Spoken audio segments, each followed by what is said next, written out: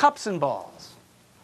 Some people say that trick is thousands of years old, but not to me. I think the cups and balls trick is 25 years old.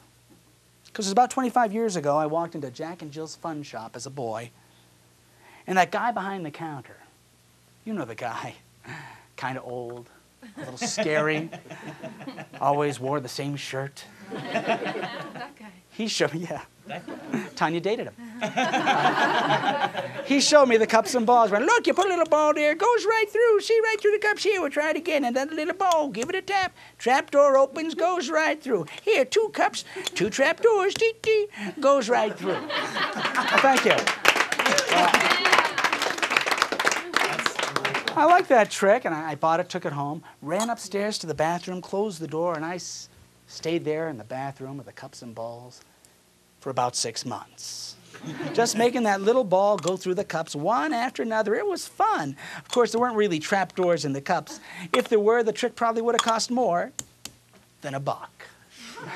but thank you. But I liked it.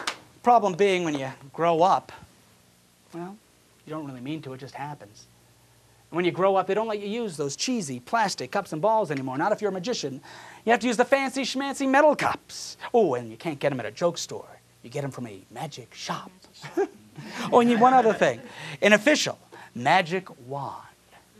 Not sure what the wand's all about. I think it has something to do with the balls. One, two, three little white balls. Thank you.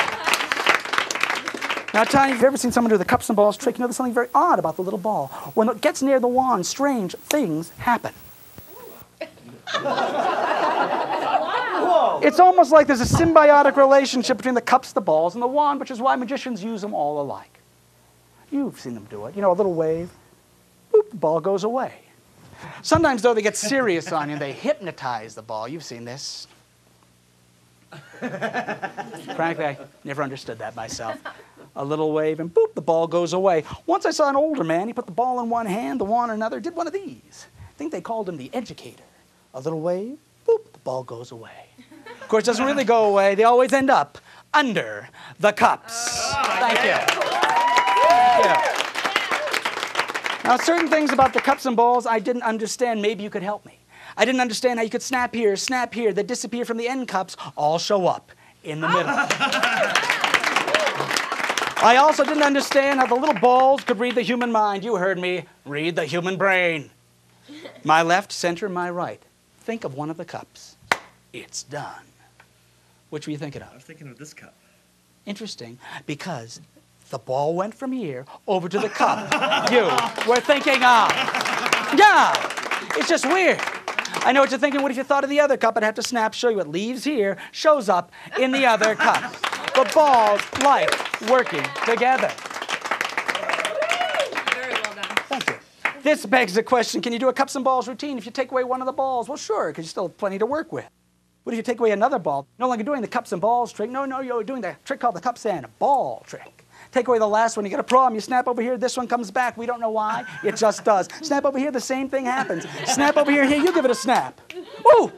I snapped and then, then you snapped. It's a double snap. Could be a problem. Could be a big problem.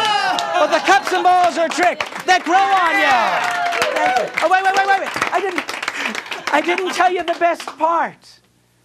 No matter how many times I perform the cups and balls, and no matter how much pleasure it gives me, it never gives me more pleasure than when I was a boy with one, two, oh, Wow. three plastic cups. Oh, and three balls. That's one, two, three balls. That's the cups and balls.